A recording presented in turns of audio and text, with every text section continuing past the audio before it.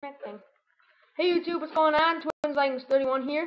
Um, today I went to a card show. Um, pretty cool card show. Um, they have it every month at my uh, city nearby, so yeah, it's pretty cool.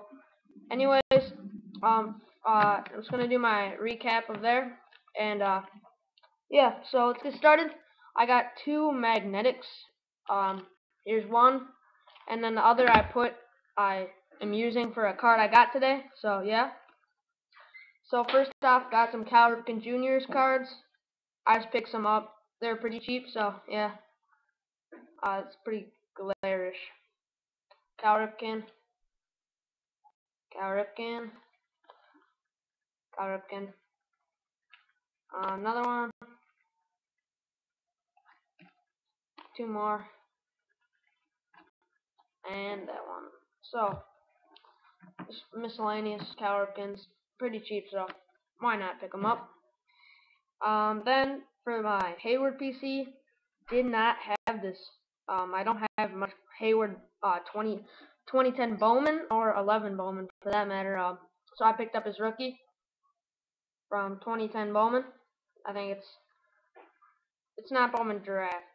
I don't. I'm not sure. I think it's Bowman draft picks and prospects. But anyways, nonetheless, pretty cool. Um, and then these next three are up for trade. Um, I picked this up real cheap. Aramis Ramirez jersey card. Uh, Dylan from Cards You Know Me. If you're interested in this, let me know. Um, this one for all you Yankee fans out there. Um, I got a, I think it's 08 Bowman, Robinson Cano Orange number 2 out of 250. Really sweet. Orange parallel. I got two more cards here. Um, this one I picked up. I probably overpaid for it, five bucks, but nonetheless, it's a pretty cool card. I think. Um, for all you Met fans out there, Mets and Yankees fans, um, all just Mets fans. But anyways, Jose Reyes, jersey card from Fleer.